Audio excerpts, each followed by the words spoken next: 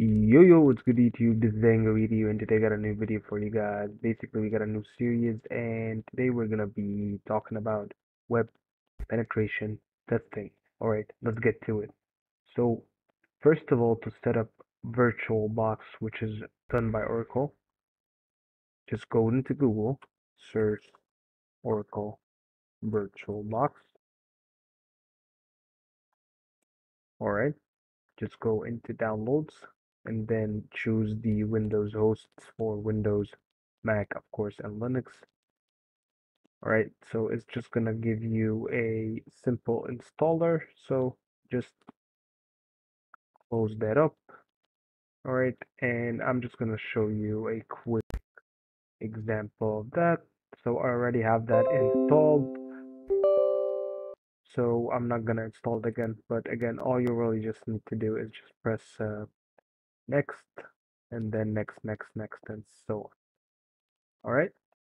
So afterwards, go back into your Firefox or your Chrome, and then search Kali or get Kali. Uh, I already have an installed version, but I'm gonna show you just how to install that just in a few moments. All right, so get Kali, and since that we're installing for VirtualBox, then uh, choose virtual machines and then VirtualBox.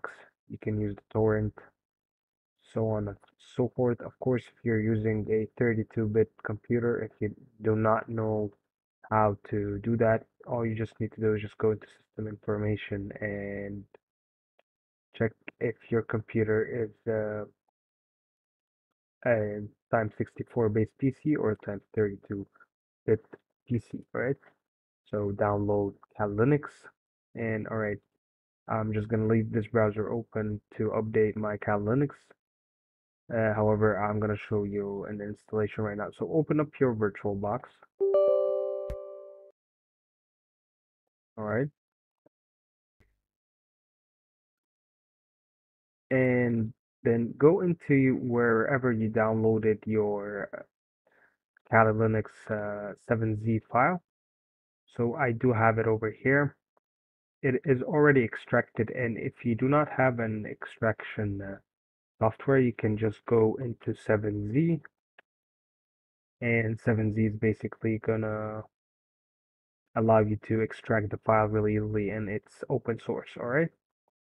So just download that times 64 install it next next next and then just uh, go back to wherever you downloaded that. And like for example over here and then just extract. All right so I already have it extracted. It's going to give you a virtual disk image which is going to give you a ready installation. It's going to look like this afterwards right so choose Kali Linux and then I'm gonna name it time 64 uh choose maybe like other Linux. Or you could use a uh, Debian uh, times 64 because uh, Kali Linux is based upon Debian. Uh, I already have uh, like a Linux machine so let's just call it uh, alpha or any or anything else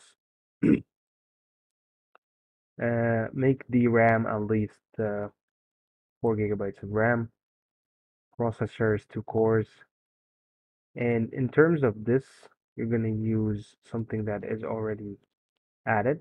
So go just wherever you extracted your virtual box, uh, virtual disk image, open that, and then choose next, finish, just go into settings we're just going to finish up something which is basically the video memory turn that up until 128 megabytes press ok and then start. And that is basically going to work. So just give it a few more moments and it's just going to start up right now.